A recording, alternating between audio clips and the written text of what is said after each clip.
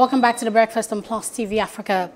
Our first major conversation this morning is about a very shocking incident that has occurred in Kaduna State in Afaka, and that's specifically at the Nigerian Defense Academy. We have reports that bandits attacked the Nigerian Defense Academy, um, killed some officers, and went ahead to abduct one, with uh, sources saying that um, 200 million naira is currently being demanded as ransom for the release.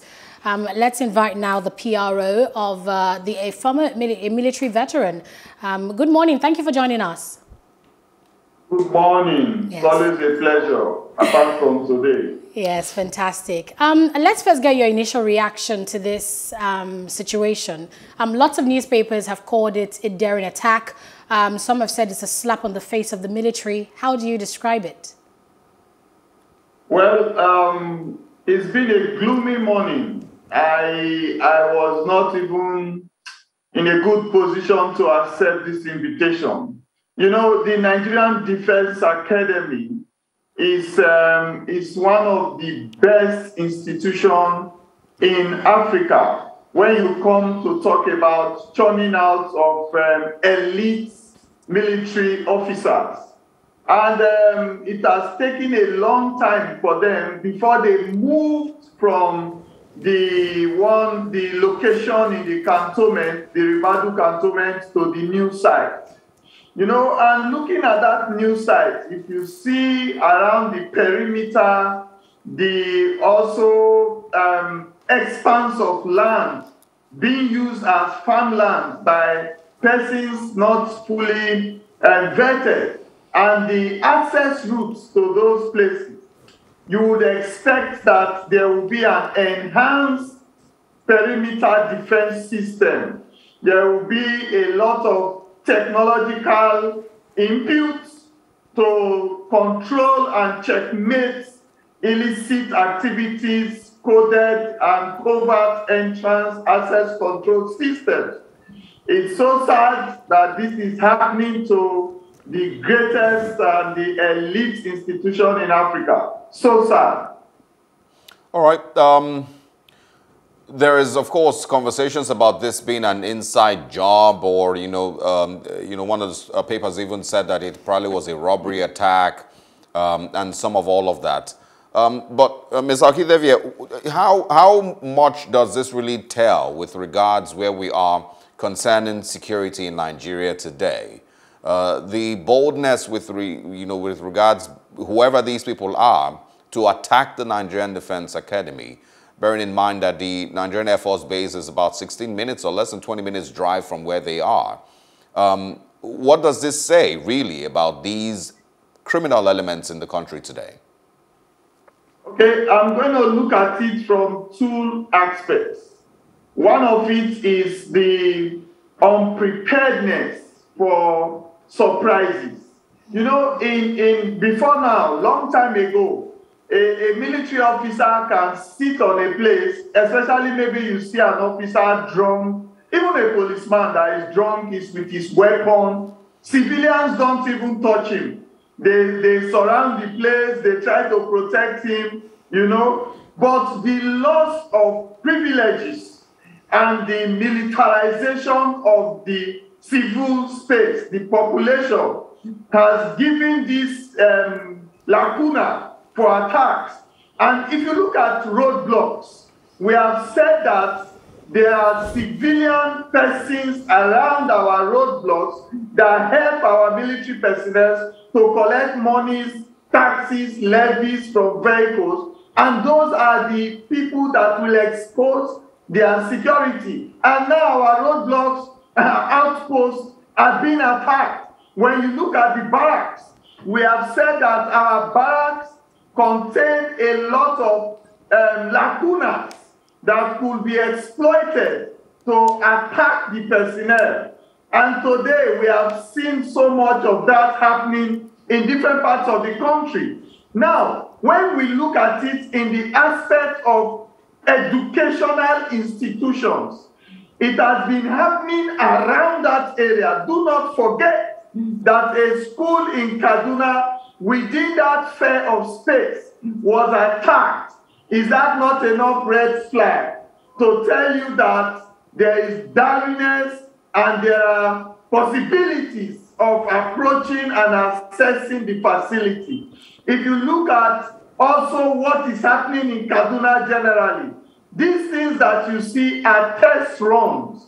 People will now try to ascribe it as uh, armed robbery uh, kidnapping. I agree with you that there must be an activity, but the purpose is to test run our military to begin to checkmate our opportunities to overrun terrorism.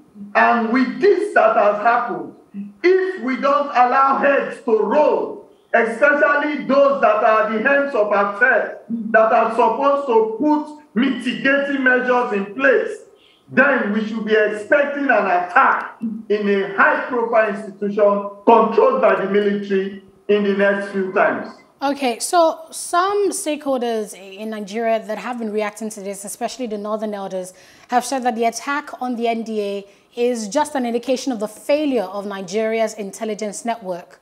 Do you say that's the fact?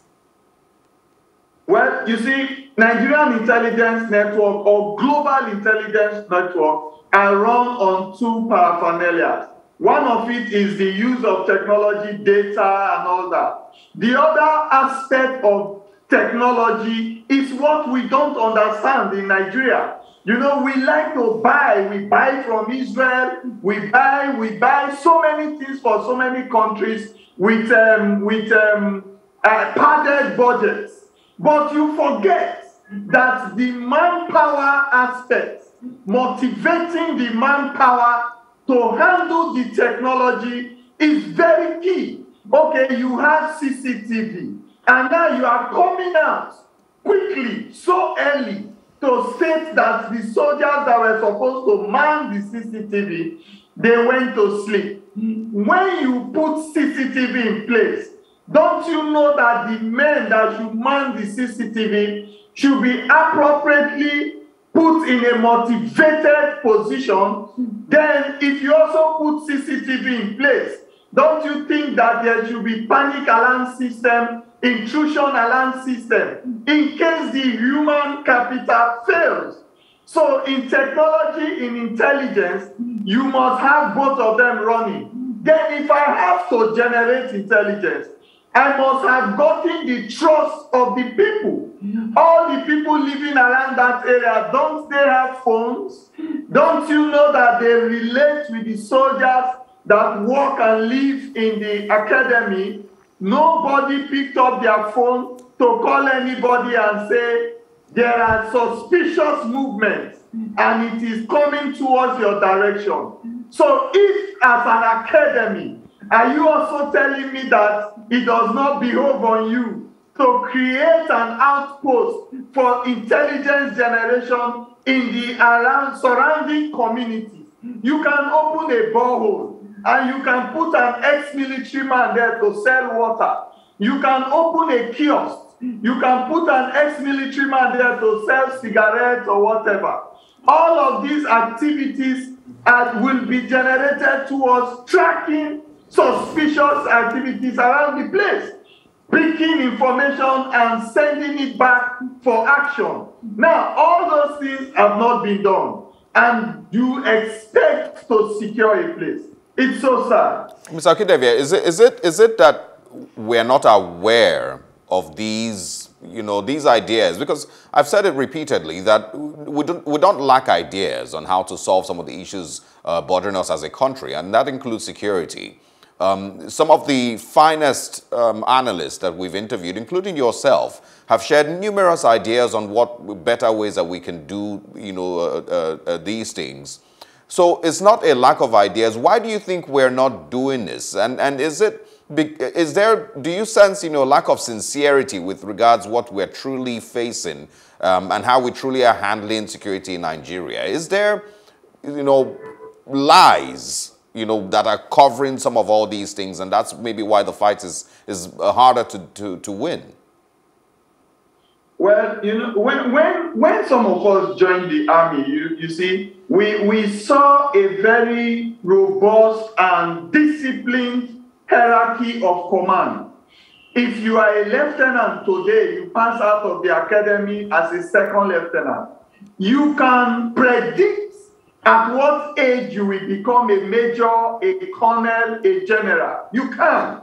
With your performances in your corps, if you are in the armored corps, engineers, infantry, you can predict what time you can hold a position like a brigade commander like the chief of army staff you can you can you can point you can keep pointers on xyz number of officers to say this category of officers will deliver the chief of army staff the chief of naval staff but when we brought politics into the military, what you are seeing now is the play out of internal grudges.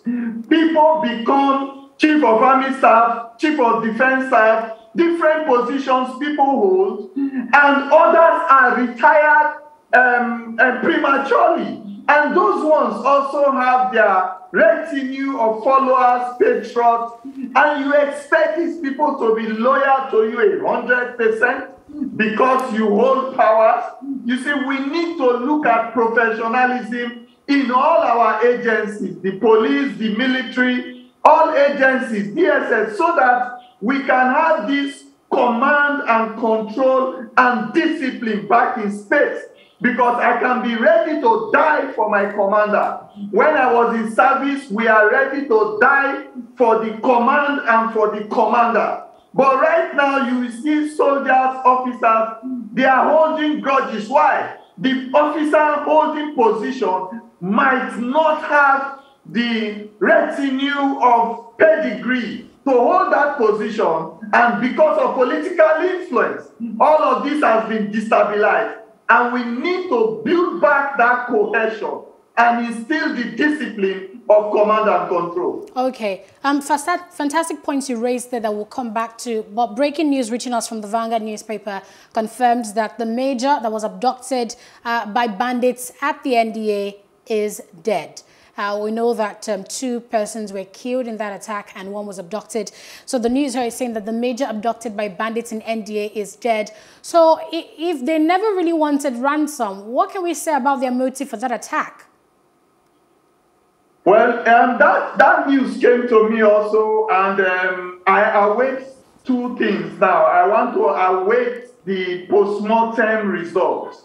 Now, I am predicting that um, as an officer and in that training institution of the NDA, people sent to the Nigerian Defense Academy as serving officers to either be instructors or um, official personnel are elites because they need to be an example to the students and the people we are raising. So I can't be a major, serving major in the Nigerian army and I will be taken away like a chicken. So I expect that there might have been some scuffles, and, and I expect that there might have been some resistance.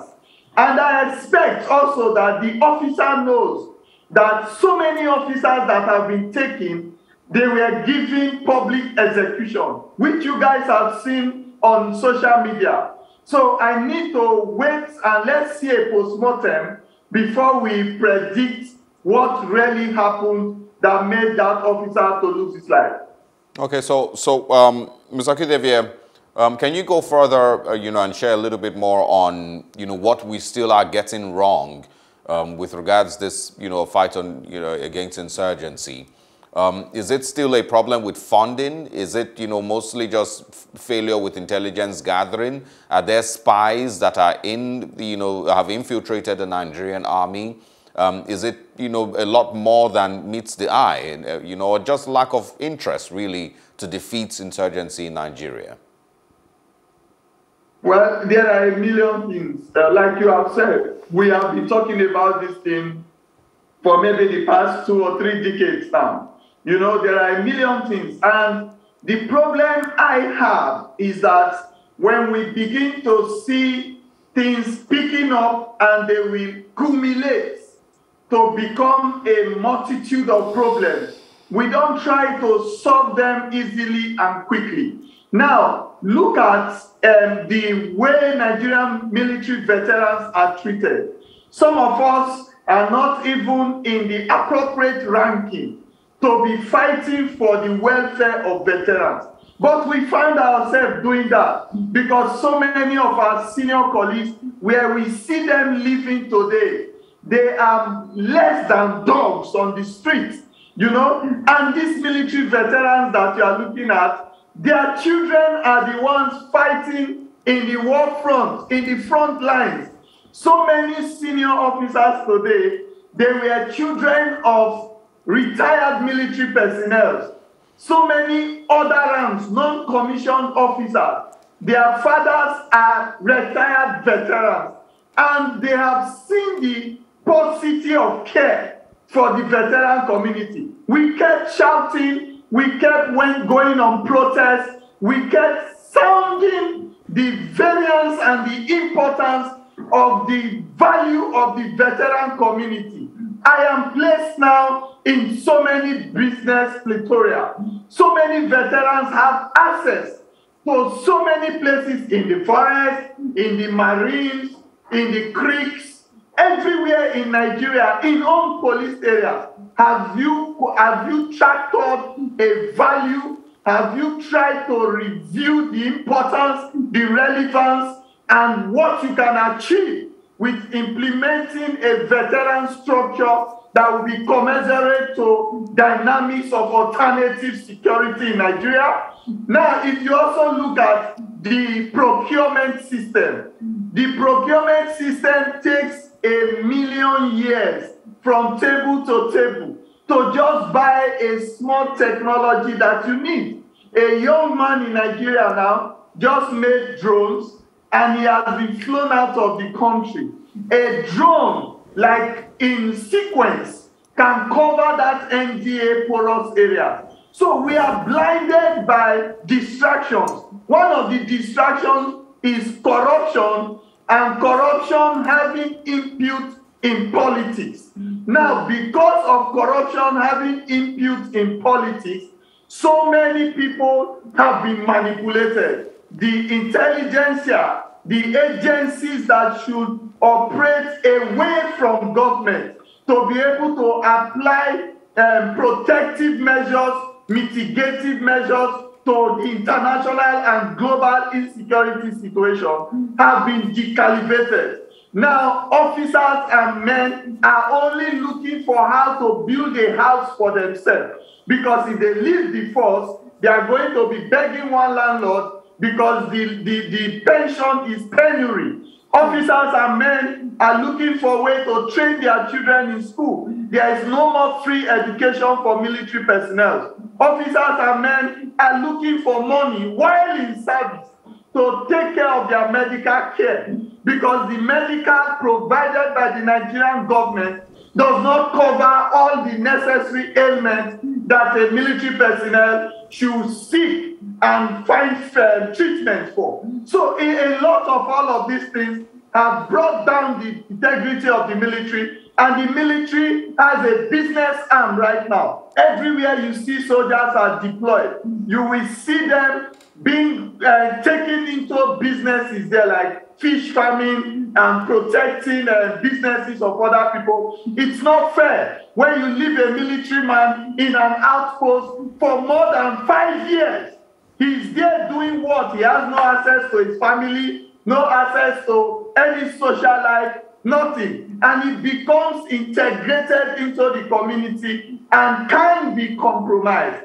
Then, if you look at the promotion system in the police, in the army, and all of that, it is getting to who knows who before you can be promoted and deployed professionally. If you look at the recruitment system, in those days, people joined by interest, by passion, by patriotism, and your local government and your state government gives you a letter to go to the government to join the military. Right now, people are being selected, people are being nominated, people are being posted to join the military without appropriate qualification. And yet, someone in politics, someone in power, someone in position is pushing for those persons to be taken into the military. All right, Mr. Our elite protection system. This is is this so is sad. yes, this is something we've been talking about uh, on the breakfast with other security analysts.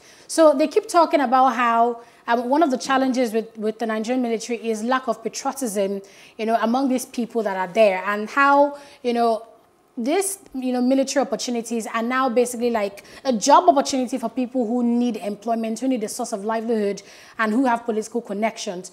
How do you think we can begin begin to plug in those holes to fixing the structural issues of the Nigerian military? Now, if you if you go to universities, more than five or six or so Nigerian universities, they have four years program for criminology and security studies.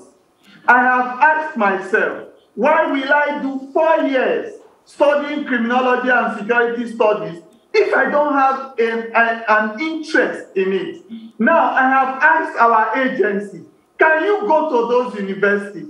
Can you take the database? Can you send bulk SMSs, emails to those graduated students and catch a age bracket and ask them to come and apply for XYZ vacancies in any of the agency? You will be getting a front line of people that have bedrock of academic intelligence and practical intelligence because some of them do their IT and all those things in the DSS, in the police, in the military.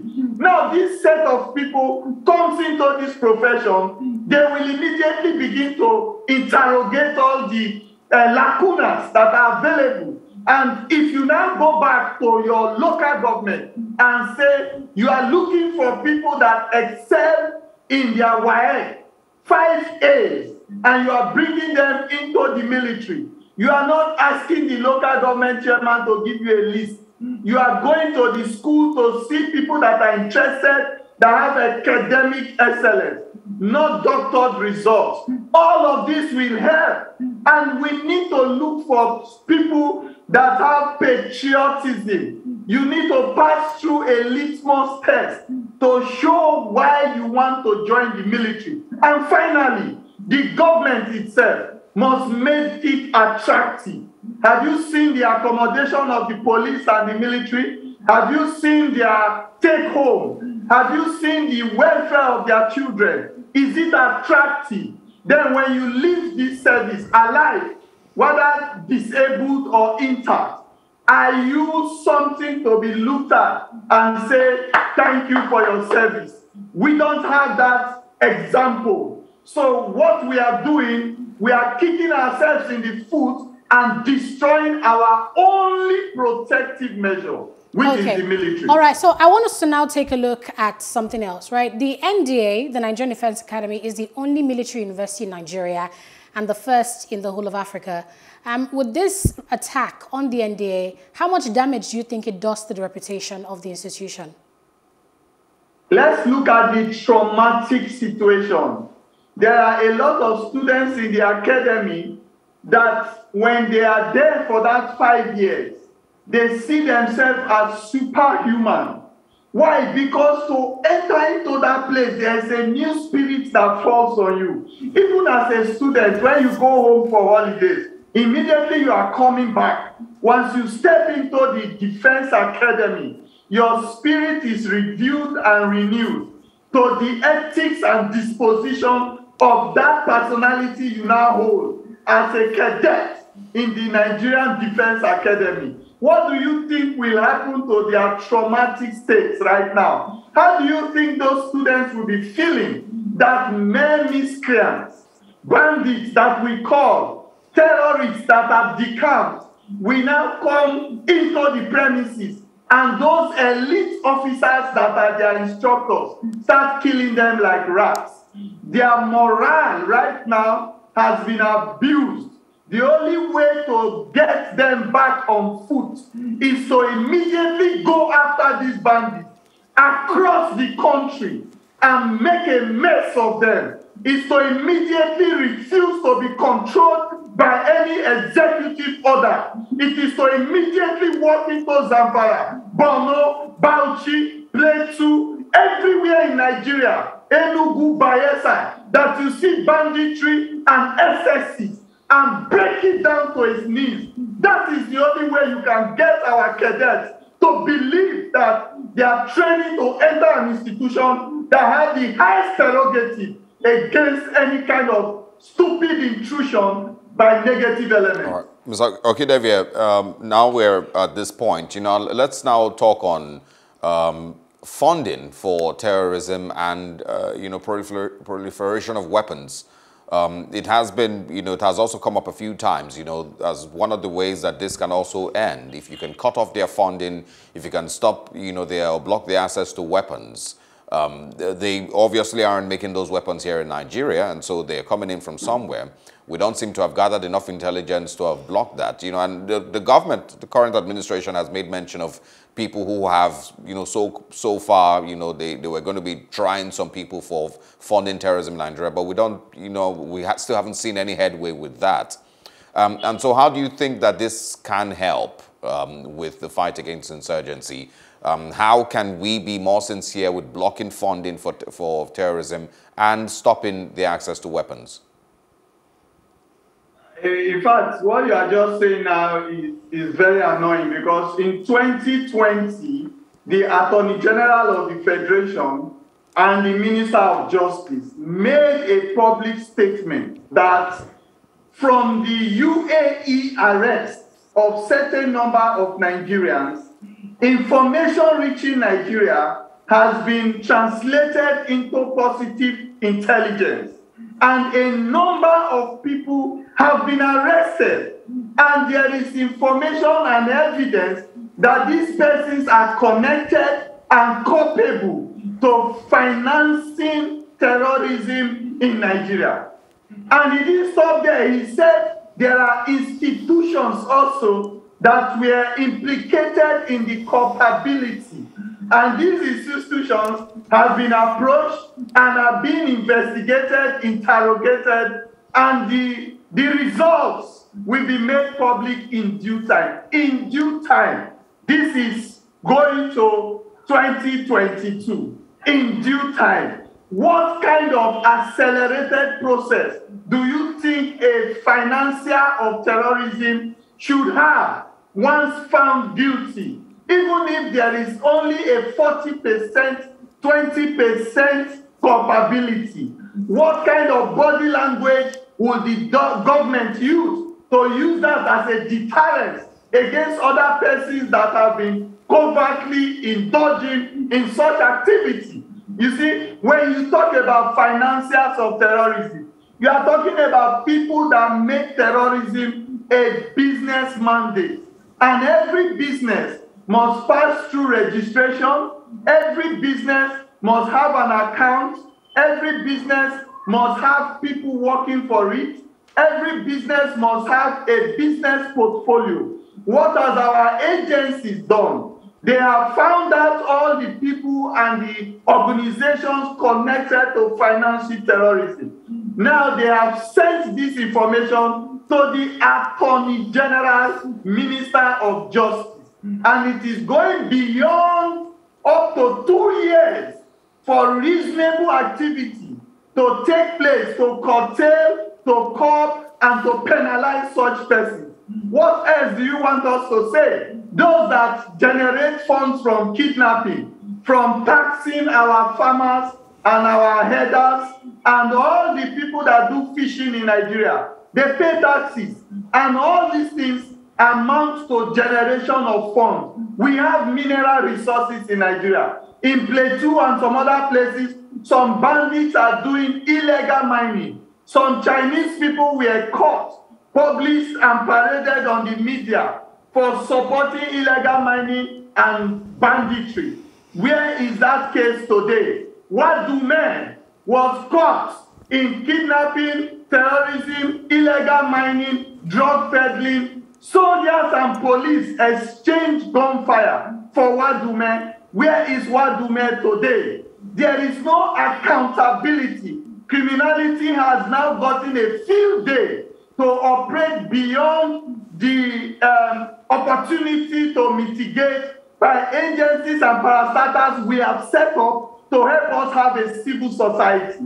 It's so sad. And so, so uh, is it then frustrating seeing that you know, you know, from a report that we spoke about yesterday, uh, there was you know uh, a very subtle amnesty being given to certain you know former Boko Haram leaders and ISWAP leaders and the likes, you know, and there's also talk about repentant terrorists you know, that, you know, the government is, you know, uh, seeking forgiveness for, or who are seeking forgiveness, and some of all of that. You know, how does that then make you feel? If you, you know, you have said repeatedly that we need to attack them, you know, and, and then completely destroy whichever, you know, every single detail of terrorism in Nigeria. Um, how does it then make you feel seeing that, you know, there's reports that the Nigerian government is uh, subtly giving amnesty to some of these people and, you know, accepting back repentant terrorists? Well, I've spoken about this before, and I insisted that um, that process is wrong. It's faulty, and it's only going to encourage more villagers to be recruited. It's only going to encourage those that are perpetrators to go to the extreme in any violence or criminality they are engaging in. So if people come to you that they are repentant terrorists, bandits, or whatever, there are enabling processes. We have a criminal justice system. There are so many people that have been held for murder, and today they were pardoned and come out from the criminal justice system, reintegrate to the society. So no matter the number of persons that come to submit themselves to the government, they should be handed over first to the police, the DSS, and the immigration. First, the immigration should find out those that are Nigerians, and the laws in Nigeria will be applicable to them. Then they will find out those that are not Nigerians, and the law that is applicable to a foreigner coming into Nigeria to perpetrate criminality will be applicable to them. Then you pass them through the judicial process. If there are those that were forced into terrorism, maybe they were taken as kids. So many young children were taken into terrorism. We have seen baby um, soldiers, terrorist soldiers. Now, if those ones are interrogated, they can be taken through juvenile re- resettlement in a correctional center. There must be no special treatment. Everybody goes into a correctional center, comes out from the other side. Either you are sentenced to death by the findings against you, or you are given parole, or you are forgiven, or you learn a trade and come out with a certificate of pardon. So by the time we begin to ascribe special attention, budgeting large chunks of money to this exercise, we are adding to the canker that will continue to destroy the precipice of security and peace in Nigeria. Um, also, I was going to ask you, um, when we look at the amount of training and skill that these um, people have, these majors at the NDA have, what then is the fate of the common man? And would you then say this then, you know, puts some logic into statement by politicians um, that we should go ahead and defend ourselves? Ah, that aspect of advisory, I have coined it into community resilience. I have spoken with my friends in the security sector, Colonel Sam Wambo, um, Abba, Kari, um, Abba and um, Kalimu. All of us have spoken about it, and we have agreed that communities should be resilient. Resilience means you put together a structure that we first eliminate opportunities from suspicious persons to penetrate. One of the easiest ways to penetrate a community in Nigeria is through religion and ethnicity. If I claim I'm a Christian, another Christian will want to harbor me. He will be sympathetic to my plight. If I claim I'm a Muslim, another Muslim will want to harbor me. We pray together in the mosque. And they don't take time to contain into relevance the purpose why you came into that community. So communities should be resilient. They should form preventive measures for access control, for you to be able to live there every landlord should have a database of people that come to rent accommodation or flats or rooms from your facility. Communicate to the police. There should be cohesion, exchanges of intelligence, and trust.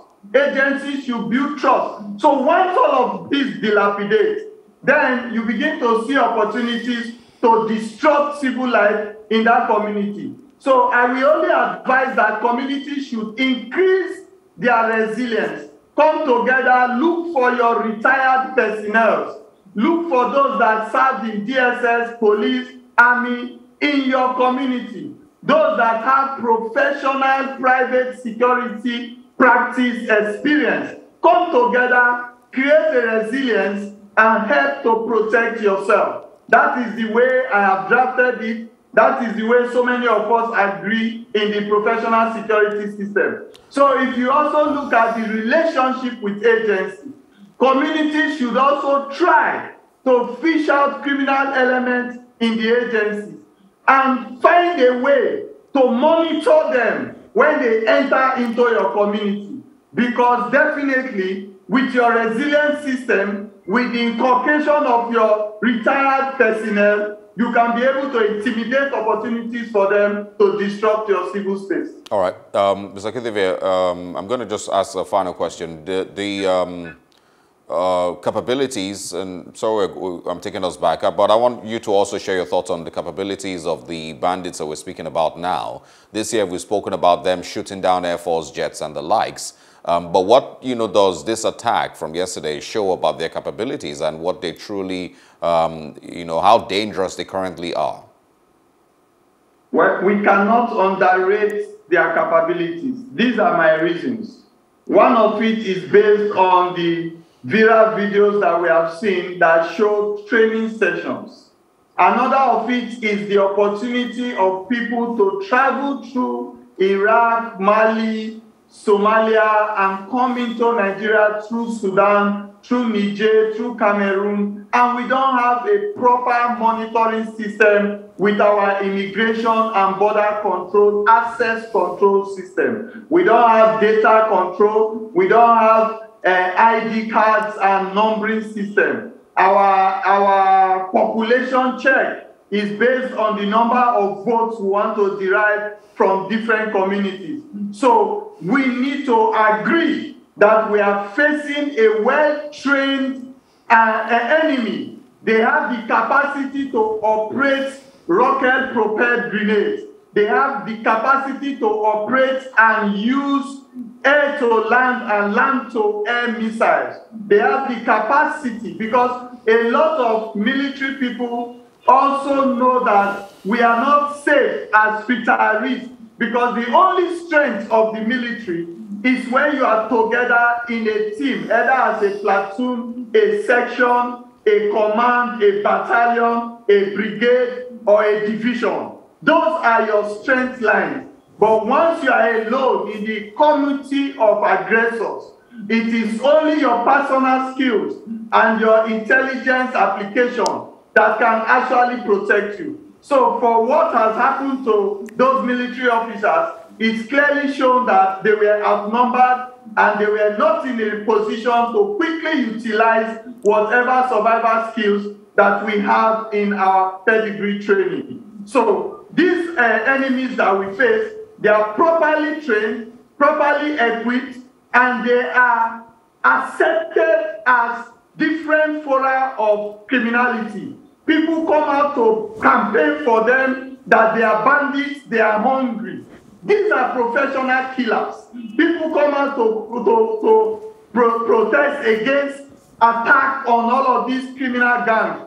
The rival headsmen. Now the Meeti Allah itself is saying that there are criminal Fulanis. Sultan is saying that they should leave the forest or else he will attack them. So many imams are agreeing now. The Christians, the Muslims now see that criminality is not religion, is not tribe.